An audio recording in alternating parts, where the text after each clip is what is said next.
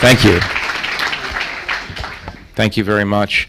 Uh, Good morning, everyone. Thank you all for, for having us here. Uh, We, at the Atlantic, are very pleased to have a continuing relationship with the Secretary, uh, with the Defense Department. Uh, We cover them rigorously and continue to doing so even after you leave. Um, Thank you to 1776 and to everyone on the Atlantic team. Uh, I'm going to um, try to divide this up into three parts, Mr. Secretary.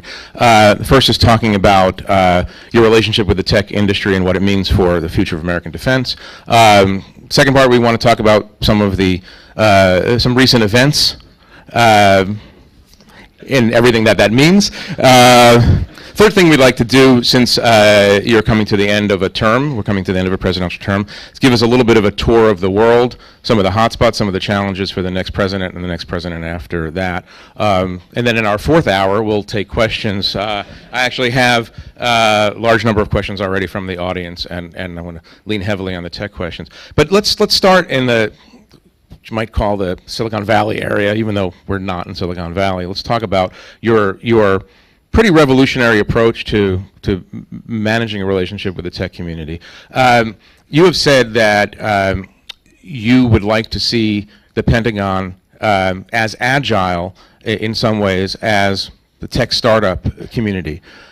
I've been in the Pentagon. It's a lot of things, but it doesn't seem very agile. How, how do you actually transform the place so that you're getting in ideas fast and you're applying them even faster? Uh, w- Well, I don't want to give the impression that we can't be agile, because we are agile, and I- and we, I- I'll give you some example, Jeff, right off the bat. We've been at war now for fifteen years, and that has caused us every single day to have to change, adapt what we're doing, and so forth. So we have a lot of really innovative people, but what I'm getting at when I try to reach out to the tech community, I have two things principally in mind. The first is a tradition that goes back many decades, uh, and is one of the reasons why our military is the finest in the world. And that is that we have always had a close connection between our technology-intensive and innovative community in America, which is unrivaled in the world, and uh, this incredibly important mission of providing security for our people and leaving a better world for our children.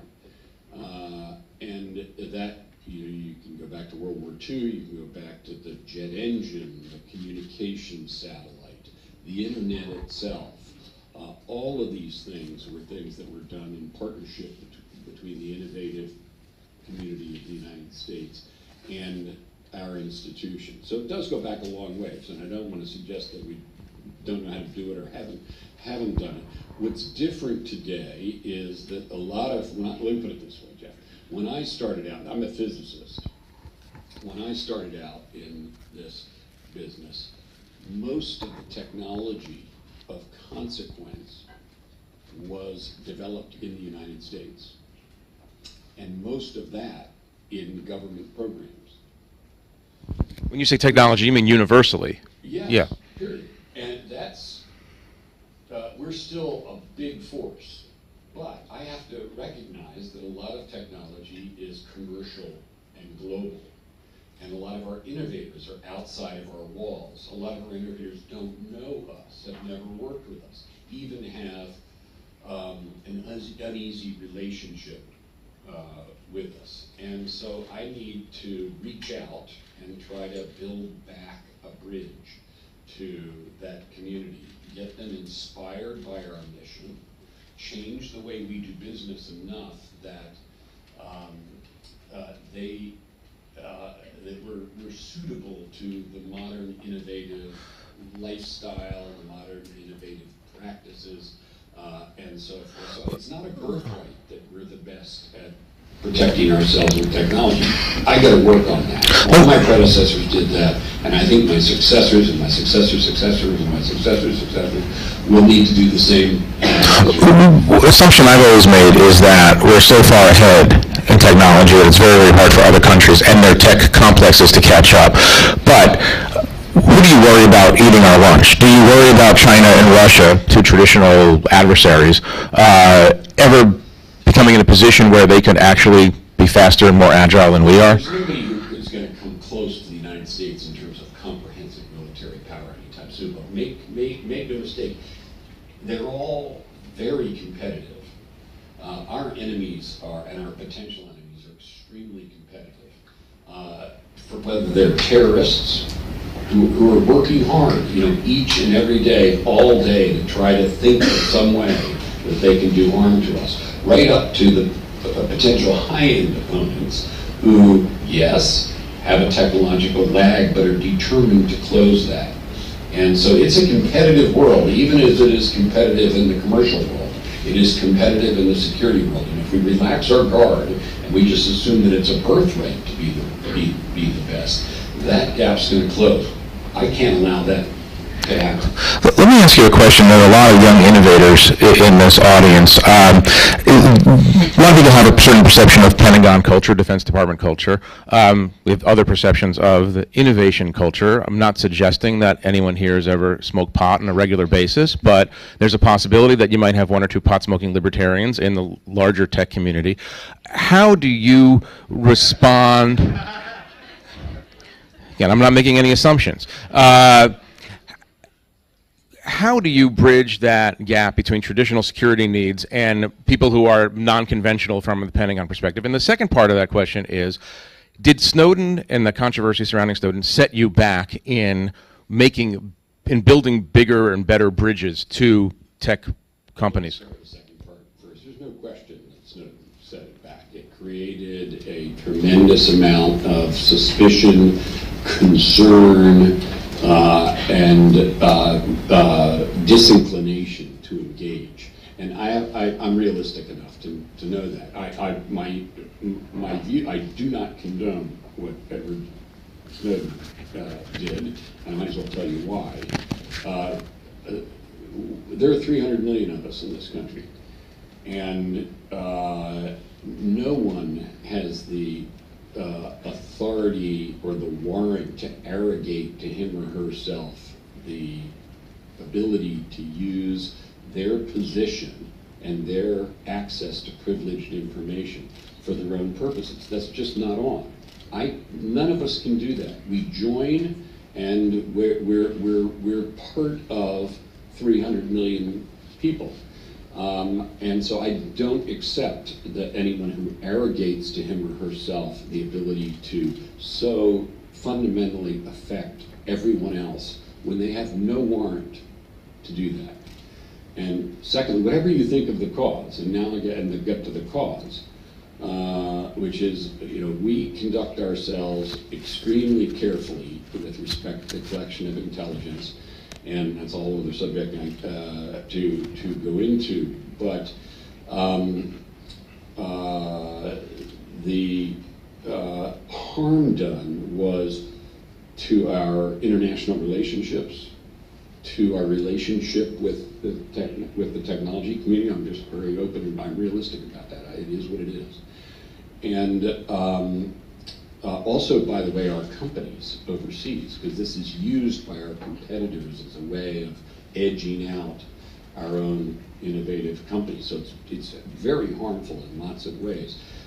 Uh, that said, uh, I, I simply have to work with that and try to um, build bridges back of trust and understanding and a willingness to meet people halfway uh, and to build that trust, and we're doing that. And I find that innovators are people who want to make a difference in the world.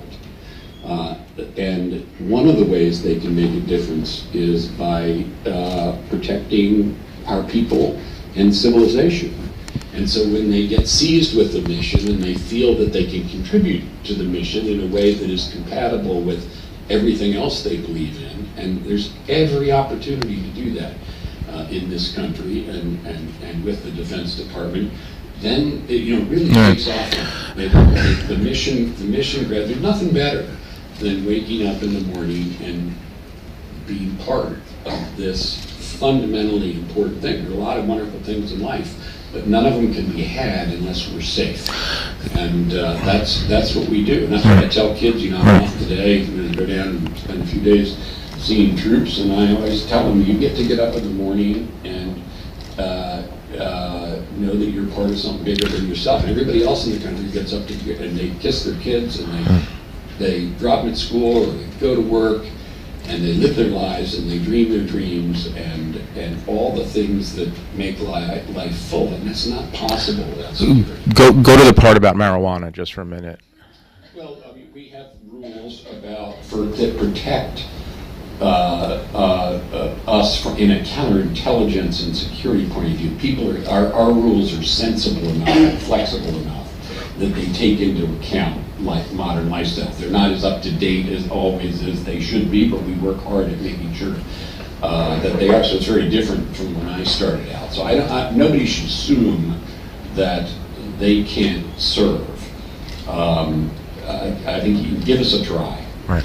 Uh, I'm going to stay on tech for one one more minute. Uh, we we were speaking about this ear- earlier. Uh, assumption has always been that innovation comes from within the system. You're saying that you've reached a tipping point, maybe, where where a lot of innovation is coming from outside uh, the system. Can you give us one or two examples of of hardcore defense applications that have come uh, help?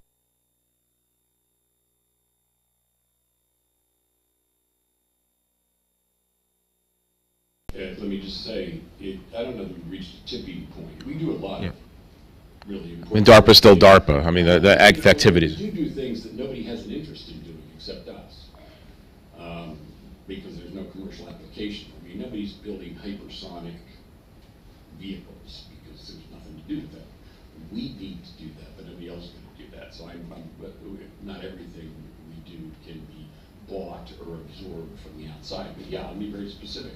Um, we have uh, our defense digital service, uh, which is our way of bringing people in who are from the outside, working all our most important, co- somewhere here is Chris Lynch, by the way, who, Chris, who's the director of the Defense Digital Service, the only, uh, he leads a bunch of people who walk around looking like him uh, in the Pentagon uh, all day, and they're not there for life, Jeff. They come in for a year or so, and they work on things like um, protecting our nuclear command and control system from being hacked. That's a pretty important example, right?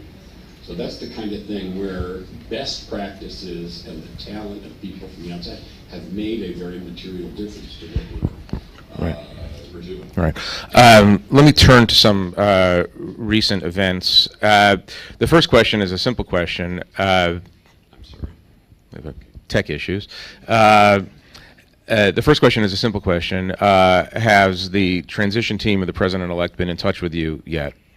The, uh, we have procedures in place. The transition team hasn't arrived at the Pentagon yet. These these these practices, by the way, were settled upon weeks ago before the election was concluded. This is normal. And, and I, I just want to say, Jeff. I'm But here, you haven't met with the I- I transition am team yet. they- They, they have not come yet. They're expected, I think, sometime this week, but that's up to them. But we're ready to welcome them and to help the new team to get started. And I want to emphasize that because this has been going on for 240 years. I myself have witnessed transitions in the past, and I am extremely proud of two things about us. Uh, the first is that not only I, and I have been extremely careful about this all these many months of the election campaign, but all of our senior leadership have have um, adhered to our tradition to stand apart from the political process. And so you haven't heard us talking. That's an important principle in this country. And I'm extremely proud that we've done that. And then the second thing is I am committed to an orderly transition to our new commander in chief, President elect Trump. I will, uh, that is something you know, all my predecessors, my entire life, and for generations before that have done. So we're going to do it to standard. We're going to do it warmly. We're going to do it to the best of our ability so that we hand off things to the new administration in the best way we possibly can. So you've spent an incredible amount of time building multinational coalitions to fight ISIS, uh, most uh, noticeably, but the other other areas, obviously. Um, the the president-elect spent a lot of time during the campaign disparaging NATO, disparaging alliances. Um, the next time you talk to our allies in NATO or elsewhere, what are you going to tell them? Well, now you're I'm going to repeat what I just said, which is I'm, I'm not going to speak about, and I certainly cannot speak for the new administration. Uh, I can certainly speak about what NATO is doing these days. Um, and, uh, you know, NATO was founded uh, to fight the Cold War. Uh, and it did that. And when it and I remember the days when the Cold War ended, and we all were saying, "Well, what's NATO going to do now? Its raison d'être is gone." It turned out that uh, along came something shortly thereafter, which was the well, first of all, NATO began the process of rebuilding Europe and and and uh, reintegrating countries, including reaching out to Russia. By the way, was an important thing, and I was part of that. I was I, was I was in the Defense Department in the '90s, and this was my responsibility. Um, but along came the Balkans, for example, and the slaughter of people in the Balkans, and NATO rose to that challenge and did and and and that was a example of a community of nations that saw things similarly, saw a need, and met them, met it together. Uh, then subsequently, uh, after 9/11, uh, uh, NATO worked with us in Afghanistan and has been working with us ever since to make sure that Afghanistan doesn't once again become a place from which attacks on America or France or Germany or the United Kingdom or anywhere else in Europe uh, are launched from. So it is a it is a community of nations that have effectively worked together, but it's it's constantly in in in a process of change. But and I let me, let me expect that to rephrase it continue. slightly to say, what is your message to your NATO allies going forward about American stability and American continuity? Well, I, I, I have no warrant, obviously, to speak for a future administration. Um, I, the only thing I would say is engage with the new administration. Uh, you know, work with them. Um, stay committed to the values and the principles that we have stood for.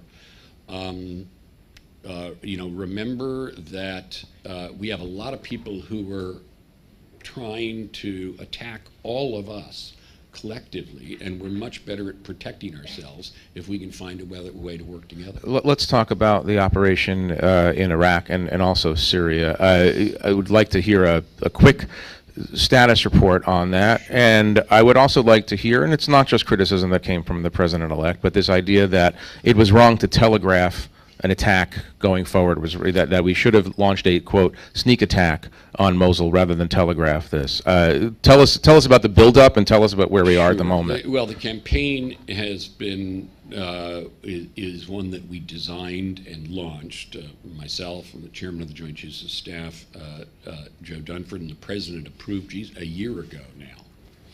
And we have, and its, its, its uh, objective in Iraq and Syria is to destroy ISIL there because we need to destroy the fact and the idea that there can be an Islamic State based upon this ideology. And it needs to start there. I, I- just want to say that it, it's there, that is necessary, it's not sufficient. Uh, So we also need to operate against it and are wherever it arises, Libya, Afghanistan, and so forth. And then uh, absolutely, we need to protect our own people. And we do that every single day, protect ourselves from, from attack. But to get back to Iraq and Syria, this was a campaign plan that was, we put together last fall. Mosul is uh, uh, Iraq's second largest city, and it and Raqqa are the two central nodes of ISIL. So they have to be destroyed. And so our plan very early on involved the systematic envelopment uh, of those two forces, of those two cities, and the destruction of ISIL uh, within them. So for a year now, we've been planning that and working with the Iraqi security forces, and, which include the Kurdish Peshmerga, to take the Mosul uh, example. And it's important, to, we're using them and we're enabling them. Uh, It's important that I mention, Jeff, that they, what we've learned from 15 years is that we can defeat ISIL, but we have to, we, this time we want to make sure they stay defeated, right? And to, for them to stay defeated, local forces must consolidate the defeat, must, must, must keep the peace after we've won the war. That's why we're working with the Iraqi security forces and the Peshmerga. So this, this campaign and, and its objectives of Mosul and Raqqa have been quite clear. They're absolutely necessary. And we built up the combat power to do them very systematically according to a, um, uh, a plan that, as I said, we put together a, a year ago. And the secrecy or sneak attack component of this was not salient in overall There, there are secret tactics involved there, but the fact that we're going to Mosul and Raqqa is is clear because they're the two biggest cities, Right. and it's actually important uh, that the enemy know that. Uh, and that the that uh, ISIL everywhere else know that we intend and will destroy them. Why is it important for them to know specifically that? Because you got to, because I, the inspiration factor uh, around the world, that's why it's so important to destroy them in Right. Iraq and, and Syria, so that people know this is not a happening thing. This is something that's going to be stamped out. Let me um, ask you a, a, a, a related question from an uh, audience member. Uh, how would you rate the biggest threats to the United States over the next five years? Uh, North Korea, Russia, China, and the South China Sea, uh, and then add in the sort of the, the Islamic Yeah, State well, threat. you left out Iran. Um, and They ran out of room on the card. And we left out ISIL.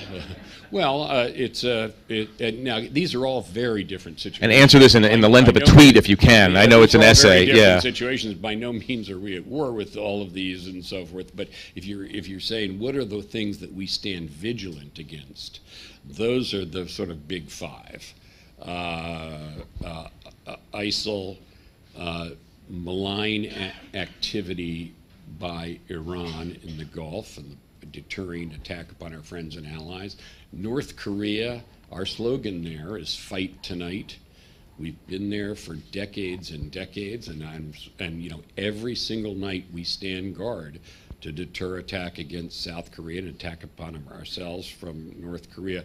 Russia and China are different situations where we have a, a mixed relationship, where we work together, where we see common purpose, uh, but there are also respects in which those relationships uh, are competitive, and, and being the Defense Department, we're realistic about that. And then, Jeff, well, what we're at, those are the five that are on our minds today.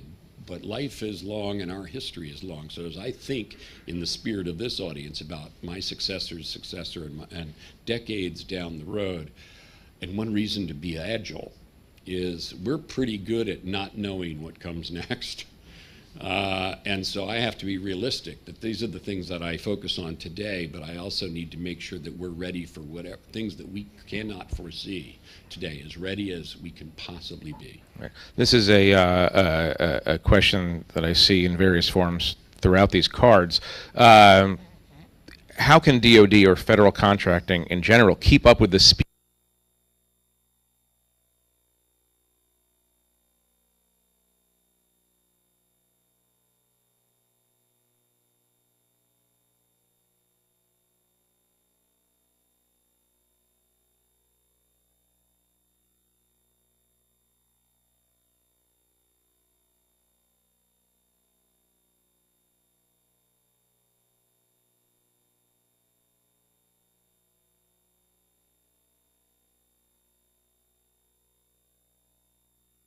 um, uh, not technology that is unique to defense. I'd be crazy if I'm not if I were not farming what is outside our walls.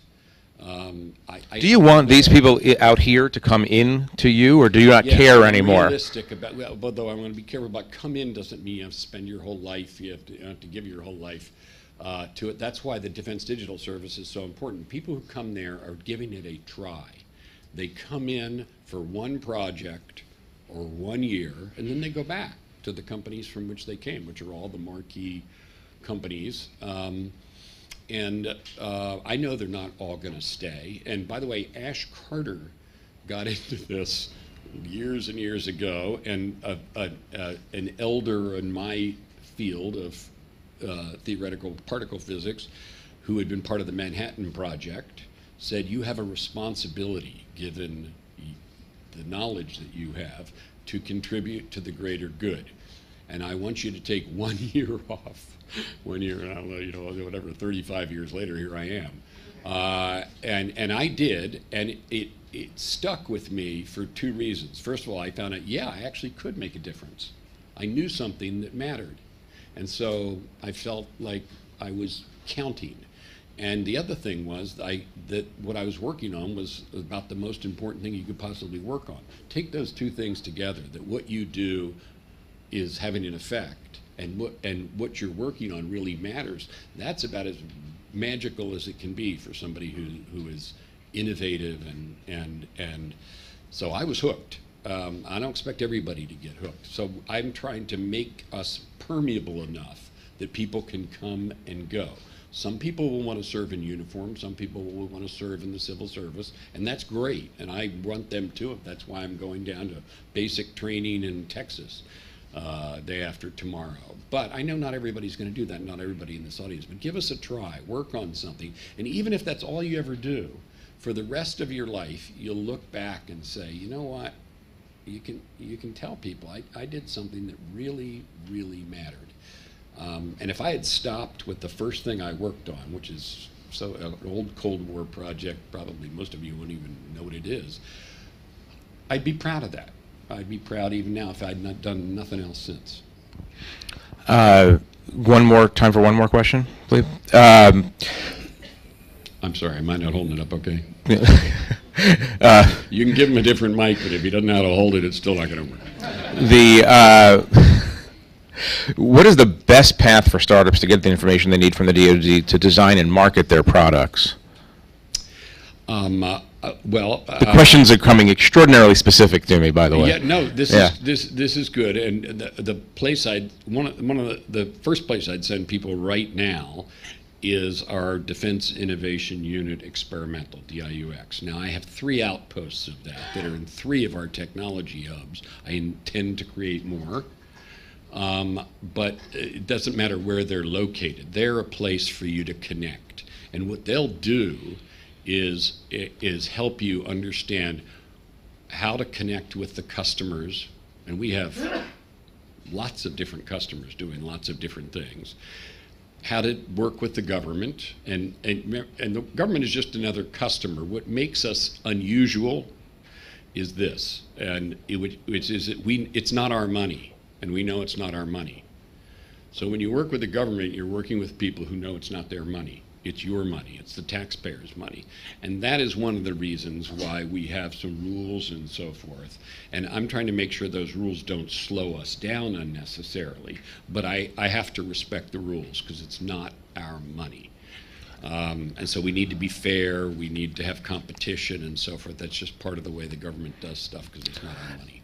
I I don't want to have you um, nerd out too much right now, but I do have this, uh, it's easy, I know, on occasion, yeah. Um, But I I do want to know something about autonomous warfare, and and I want you to talk a little bit in sort of almost a science fiction vein, although maybe it's not science fiction anymore. When do we reach the point uh, where we're not going to need pilots anymore in our planes? When do we reach the point where the battle, the battle space is taken over by robots? And what are the, what are the technological and moral complications associated with this? Well, we're flying airplanes right now. No, I'm talking about, when is the end of pilots is what I'm talking about. Don't have, have uh, people in them.